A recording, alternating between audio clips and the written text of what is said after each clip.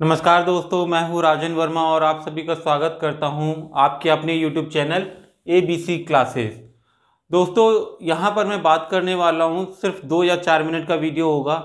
उत्तर Pradesh police दरोगा भर्ती जो अभी निकली है, नौ हज़ार पाँच सौ चौंतीस पदों के लिए, नौ हज़ार पाँच सौ चौंतीस पदों के लिए, उसमें सबसे बड़ा सवाल है उम्र की सीमा। उम्र की सीमा को लेकर बहुत बड़ा कन्फ्यूज़न है। तो दोस्तों, सबसे पहले तो जो नोटिफिकेशन में दिया है, उसका मतलब समझ लेते हैं, वो क्या कहना चाह रहे हैं। वो यह कह रहे हैं, एक सात 2021 को 21 वर्ष पूरी कर ली हो। जितने भी छात्र हैं, एक सात सात का महीना सात का मतलब क्या हुआ? जुलाई, जनवरी, फरवरी, मार्च, अप्रैल, मई, जून, जुलाई। तो एक सात 2021 तो जुलाई 2021 तक 21 वर्ष पूरा हो गया हो, ठीक है? जिनका नहीं पूरा है, वो तो फॉर्म भर ही नहीं सकते हैं। सबसे बड़ी बात यह है, और 28 वर्ष से अधिक की आयु ना हो। 21 से 28 वर्ष तो आपकी आयु सीमा है 21 से 28 वर्ष। ये बात कर रहे हैं जनरल वालों के लिए, ठीक है? जनरल वालों के लिए बात की जा रही है। 28 वर्ष की आयु ना पूर्ण की हो, अर्थात जिनका जन्म एक सात उन्नीस सौ एक जुलाई उन्नीस एक जुलाई उन्नीस सौ तिरानवे से पूर्व मतलब जो भी एक एक सात उन्नीस सौ पहले के जन्मे हुए हैं, जनरल कैटेगरी में, चाहे वो उन्नीस सौ बानवे हो या फिर उन्नीस सौ इक्यानवे हो और छठा महीना हो, ठीक है ना, पहले के जो जन्म हुए हैं, वो और एक साथ दो हज़ार के बाद, एक जुलाई दो हज़ार, एक जुलाई 2000 के बाद जो भी जन्म लिए हैं, वो ये फॉर्म को नहीं भर सकते हैं। तो बच्चों, ये एक बहुत बड़ा सवाल है कि क्या भर्ती शुरू होने से पहले ही ऑनलाइन फॉर्म होने से पहले ही कोर्ट में पहुँच जाएगा? तो ऐसा कहना कहा नहीं जा सकता है, लेकिन एक उम्मीद तो लग रही है आप उन स्टूडेंट के बारे में सोचिए। ये भर्ती 2018 से सुनने में आ रही थी कि दरोगा की भर्ती आनी है नौ हज़ार साढ़े नौ हज़ार साढ़े छः हज़ार भर्ती आनी है। 2018, 2019, 2020 में भी 20 में भी 20 में आने की तो बहुत ज़्यादा संभावना थी कि आ जाएगी लेकिन 20 में भी नहीं आई और आई कब? आई तो 2021 में और वो भी आने के बाद एक महीने के बाद फॉर्म को ऑनलाइन कर रहे हैं। अगर उन्होंने ये जो सीमा है ना आपकी, एक सात उन्नीस ठीक है ना? इसको आपने, इसको उन्होंने क्या किया होता? एक जनवरी कर दिया होता, एक जनवरी उन्नीस सौ तिरानवे कर दिए होते तो भी बहुत बच्चे फॉर्म को भर सकते थे। बच्चों, सोचिए, आप देखिए, जो बच्चे इस कैटेगरी के अंदर आ गए हैं, जो फॉर्म भरने के लायक हैं, उनको तो बहुत खुशी होगी कि ठीक है, मैं फॉर्म भर सकता हूँ। यहाँ पर अगर मैं बात करूँ, O B C, S C S T उनको पाँच वर्ष का छूट मिलता है। पाँच वर्ष का छूट मिल रहा है। उनके लिए तो कोई दिक्कत की बात नहीं है। वो अगर तीस साल के भी हैं तो भी भर सकते हैं, इकतीस के हैं तो भी भर सकते हैं, अट्ठाईस, पाँच कितना होता है? थर्टी थ्री होता है। तो तैंतीस साल तक के बच्चे भर सकते हैं S C S T O B C category के लोग। लेकिन एक बार आप उनके बारे में सोचिए, जो जनरल कैटेगरी के बच्चे हैं, जिन्होंने दो साल से इसकी तैयारी की है, फॉर्म आने का वेट कर रहे थे, और अब उनके साथ ऐसा हो जाए कि फॉर्म ये ये डेट अगर रख दी जाए, इसकी वजह से जो बच्चे फॉर्म ही नहीं भर पा रहे हैं, आप समझ सकते हैं उनको कितना दुख हो रहा होगा।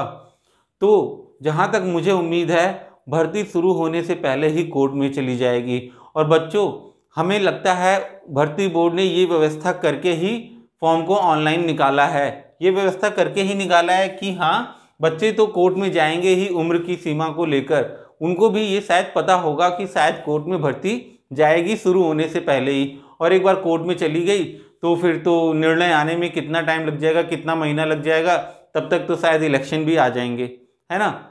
और ये रही आपकी बात तो हाँ यहाँ पर उम्र की सीमा जो उन्होंने दी है, बिल्कुल गलत दी है बच्चों, उनको कम से कम ये एक जनवरी उन्नीस सौ तिरानवे करना चाहिए था। एक जनवरी उन्नीस सौ तिरानवे करना चाहिए था। और सबसे बड़ा दुख, मुझे बहुत दुख हुआ। यूट्यूब पे एक चैनल है। चैनल का नाम तो नहीं बता सकता मैं, ठीक है? क्योंकि ये गलत होगा। उन्होंने अपना तो मतलब क्या बताऊँ, बच्चे इतनी मुश्किल से पढ़ाई कर रहे हैं, ठीक है?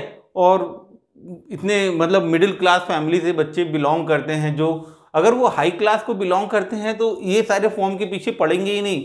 या तो लो लेवल के हैं, या तो मिडिल क्लास के हैं। वो इस मिडिल क्लास फैमिली को बिलोंग करते हैं। अब उन्होंने क्या किया? कल कल नोटिफिकेशन आया और आज उन्होंने एक बैच जारी कर दिया। क्या जारी किया है?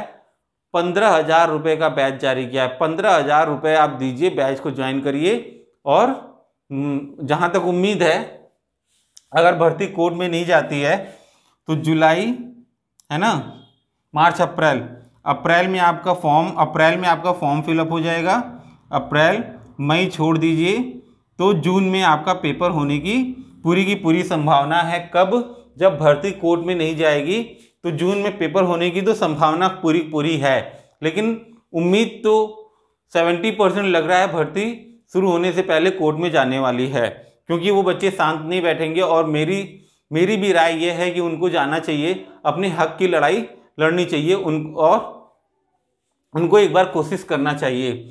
लेकिन सबसे दुख की बात वही है कि बच्चों, अभी मतलब उन्होंने पंद्रह हज़ार रुपये फ़ीस रख दिया है कि आप ज्वाइन करिए और अपने सिलेक्शन को पक्का करिए, ये करिए, वो करिए। अरे यार पंद्रह हज़ार? दो हज़ार, तीन हज़ार समझ में आता है। आप यूट्यूब यूट्यूब पे पढ़ाने का मतलब क्या है? यूट्यूब से भी आप पैसा कमा रहे हो। ऐड आते हैं, उनसे भी पैसा कमा ही रहे हो। यूट्यूब से पैसा तो कमा रहे हैं ना। उसके बाद इतना ज़्यादा फ़ीस रखने का क्या मतलब है? अभी जानते हैं क्या करेंगे वो? पहले पंद्रह हज़ार बच्चे पंद्रह हज़ार रुपये फ़ीस दे के कुछ बच्चे तो ज्वाइन कर लेंगे। जो उसके लायक हैं, पंद्रह हज़ार देने के लायक हैं दे के ज्वाइन कर लेंगे इस उम्मीद में कि मेरी तैयारी अच्छी हो जाएगी। चलो ठीक है, वो बच्चे ज्वाइन कर लेते हैं। एक समय आएगा कि अब एडमिशन कम होने लगेंगे। एडमिशन कम होने लगेंगे, पंद्रह हज़ार फ़ीस बच्चे नहीं दे पाएँगे। फिर जानते हैं क्या आएगा? फिर उनकी तरफ़ से आएगा एक कूपन कोड ठीक है ना?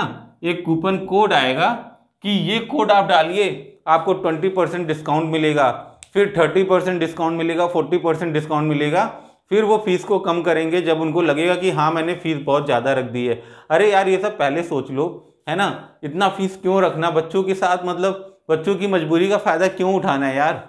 नहीं, ये बिल्कुल गलत है, मैं इसके खिलाफ हूँ, ऐसा नहीं करना चाहिए। आपको फ़ीस रखना है तो ऐसा रखिए कि जो सबको लगे कि ठीक है है ना? दो हज़ार, ढाई हज़ार, दो हज़ार भी रख लेते हैं, आपके साथ पचास हज़ार बच्चे जुड़ जाते हैं तो कितना पैसा हो जाएगा? यार, पैसे के पीछे क्यों पड़ रहे हो? ठीक है? तो बच्चों, बस ये उम्र की जो सीमा है, इसको लेके जहाँ तक उम्मीद है, कोर्ट में जाएगी भर्ती, ठीक है ना? भर्ती कोर्ट में जाएगी।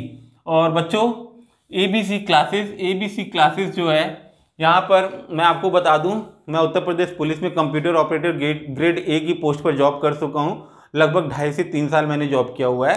अब मैं छोड़ चुका हूँ, ठीक है? तो बच्चों अभी मेरा मैथ का क्लास भी चल रहा है, रेलवे ग्रुप डी का स्पेशल सिलेक्शन बैच चल रहा है। यूपीएसआई के लिए आपका मैथ मैथ कंप्लीट मैं पढ़ाऊँगा और बच्चों, बिल्कुल फ्री पढ़ाऊँगा। मुझे नहीं चाहिए आपसे पैसा। मुझे बस आपका सपोर्ट चाहिए कि आप मुझे ज्वाइन करें और यहाँ से पढ़ाई करें, ठीक है? कंटेंट अभी भी आप मेरे चैनल पे जाके देख सकते हैं। जो भी चैप्टर हैं, जितने भी चैप्टर मैंने डाल रखे हैं, एक भी चैप्टर में आपको कमी लगे तो बताइएगा कि नहीं आपने अच्छा नहीं पढ़ाया है है ना? आप बताइएगा मुझे, ये मेरा व्हाट्सएप नंबर है। मैं तो बच्चों से बिल्कुल खुल के जुड़ा हुआ हूँ, ठीक है? बच्चों से बिल्कुल खुल के जुड़ा हुआ हूँ, कोई भी दिक्कत हो तो आप मुझे बताएँ, ठीक है ना? तो मैथ की तैयारी मैं पूरी करवाऊँगा, उसके साथ साथ मूल विधि मूल विधि आपकी जो है, मूल विधि भी मैं कंप्लीट कराऊँगा। मूल विधि में अच्छा ज्ञान मुझे इसलिए है क्योंकि बच्चों छः महीने की ट्रेनिंग की है मैंने पुलिस में और वहाँ पे एक से एक अच्छे जो हमारे टीचर हैं, सब इंस्पेक्टर हमें, हम लोग को पढ़ाते थे, ठीक है ना? तो उनके पास मूल विधि का बहुत अच्छा ज्ञान होता है और हमें पता है कौन कौन से इम्पोर्टेंट चीज़ें हैं मूल विधि में जो एग्ज़ाम में आपके लिए बहुत ही ज़्यादा महत्वपूर्ण साबित साबित होंगे, ठीक है? तो मुझे ये पता है मूल विधि में क्या आपको पढ़ना है। जितना वास्ट है ना, वो सब पढ़ना ही नहीं है। जितना मैं पढ़ाऊँगा, बस उतना पढ़ना है। ठीक है बच्चों? तो मेरे बैच को आप ज्वाइन कर लीजिएगा। बैच कब शुरू होगा उसकी भी नोटिस में डाल दूँगा। खैर मैथ पढ़ने के लिए तो अभी आप ज्वाइन कर लीजिए। चैनल को लाइक एंड सब्सक्राइब कर दीजिएगा। ठीक है बच्चों? थैंक यू सो मच बाकी फॉर्म आप भर दीजिएगा जब ऑनलाइन होगा। एक एक अप्रैल से ऑनलाइन होगा। फॉर्म भर दीजिए। तैयारी शुरू कर दीजिए। ठीक है? इसमें कोई डाउट नहीं है। कोर्ट में जाती है या नहीं जाती है, बात की बात है। हमारा काम है तैयारी शुरू करना। तो हम तैयारी को शुरू करते हैं, ठीक है? थैंक यू सो मच और हमारे चैनल को लाइक एंड सब्सक्राइब कर लें।